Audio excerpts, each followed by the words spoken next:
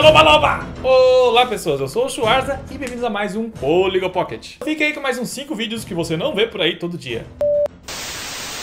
O cinema nos faz pensar que monstros só existem na ficção. Aragog, Predador, Alien, existem vários. Mas quem elaborou esses seres parece ter se inspirado em animais que existem, mas que raramente conseguimos ver, pois moram no oceano profundo.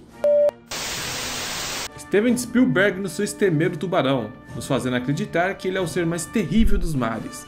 Mas nesse caso, o tubarão não deu nem pro cheiro para essa lula, que acabou devorando o coitado.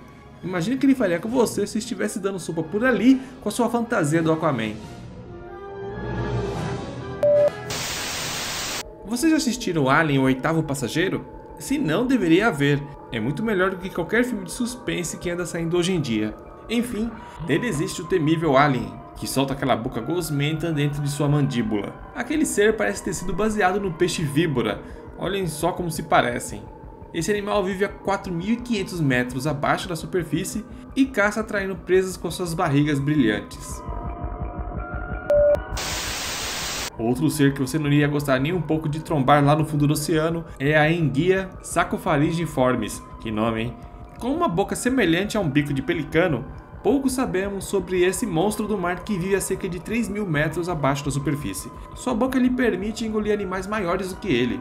Então, se deparar com esse animal, deixe a dignidade de lado e fuja. Agora, se você sofre de aracnofobia, cuidado!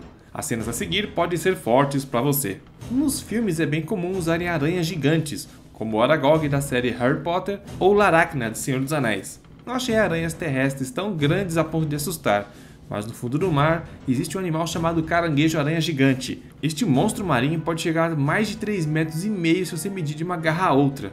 Você já tomou um beliscão de um caranguejo? Dói, né? Imagina levar um beliscão de um desses aí. Pode até cortar seu pinto fora.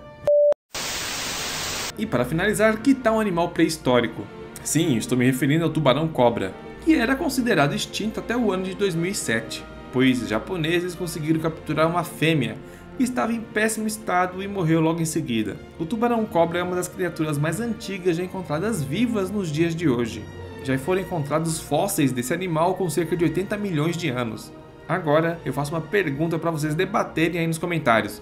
Se demos de cara com um animal dado como extinto recentemente, quantos seres pré-históricos ainda podem existir no fundo do mar? Você já segue os Poligonautas nas redes sociais? Temos uma conta no Facebook, você também pode nos seguir no Twitter, no Instagram e para fechar, temos um grupo aberto no Viber. Os links de nossas redes sociais vão estar na descrição. E também tem um site dos Poligonautas, que é atualizado a toda hora, todo momento e todo instante. Enfim, vou ficando por aqui. Se você gostou desse vídeo, clique no gostei aqui embaixo. Bom, Poligonautas, vou ficando por aqui. Vejo vocês na próxima. Um grande abraço e hasta!